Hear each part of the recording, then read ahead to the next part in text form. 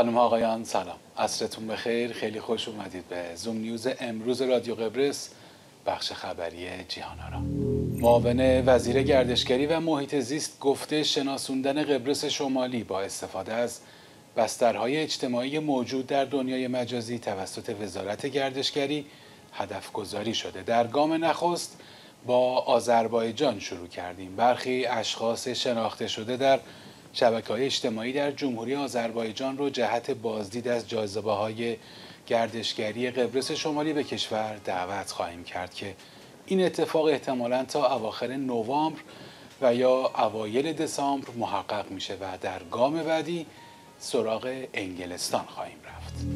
وزیر آموزش و فرهنگ ملی اعلام کرده تا کنون 42207 دانشجو به قبرس شمالی اومدن که 26028 نفر از اونها اهل ترکیه هستند.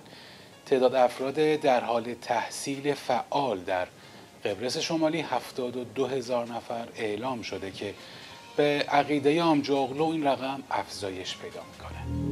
سوجوغلو نخست وزیر قبرس شمالی اظهار داشت که ممنوعیت های انتخاباتی پس از اخذ رأی اعتماد دولت و همچنین پایان کار کمیته ویژه انتخابات احتمالاً از 25 نوامبر آغاز میشه و تا روز انتخابات ادامه پیدا می‌کنه.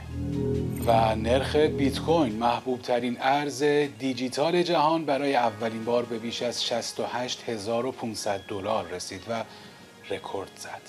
در کنار بیت کوین رمز ارز اتر هم با عبور از مرز 4800 دلار اوج قیمتی خودش رو رقم زد. بر اساس اخبار دریافتی احتمال میره که از روز پنجشنبه مبلغ سی کروش از هزینه هر لیتر بنزین کم بشه. هنوز خبری از تغییر قیمت گازوئیل و یا گاز مایع نیست.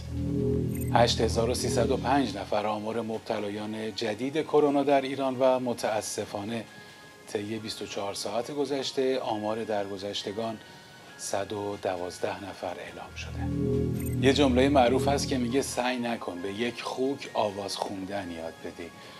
هم وقت خودت رو تلف می‌کنی و هم خوک رو اذیت می‌کنی. چرا که سطحی از شعور وجود داره که توی اون سطح بیشعورها رو باید نادیده بگیری. حالا هر چقدر که می‌خوان از تلاش های سی سالشون بگن و پوز پیروزی هاشون رو بدن. مهم اینه که ما آدم کسی نشدیم. خیلی ممنون از شما عزیزان که همراهمون هستی تا دیداری دوباره شما خوبان رو به خدای بزرگ میسپارم.